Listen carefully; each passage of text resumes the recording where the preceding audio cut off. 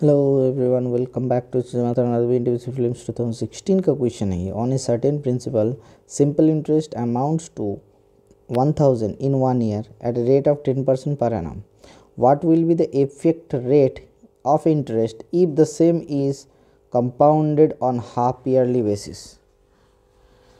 अब देखो, एक साल के लिए एक हज़ार रुपया अमाउंट हुआ है, ठीक है?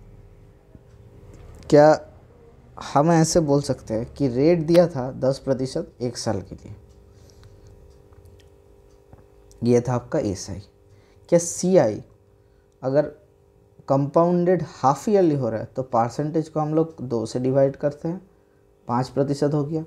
तो दो, अगर दो हाफ़ ईयरली है तो ईयर में कितना दो हाफ़ ईयरली मिलता है? मतलब छः महीने करके कितना छः महीना होता है? एक साल में दो होता है, सर।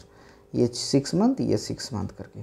तो फाइव परसेंट का कंपाउंडेड इंटरेस्ट क्या हो जाएगा sir five plus five plus five into five by hundred that is equals to ten point two five तो option number D is the correct answer क्या हमें इसको हज़ार के ऊपर चेक करने की ज़रूरत है? जी नहीं।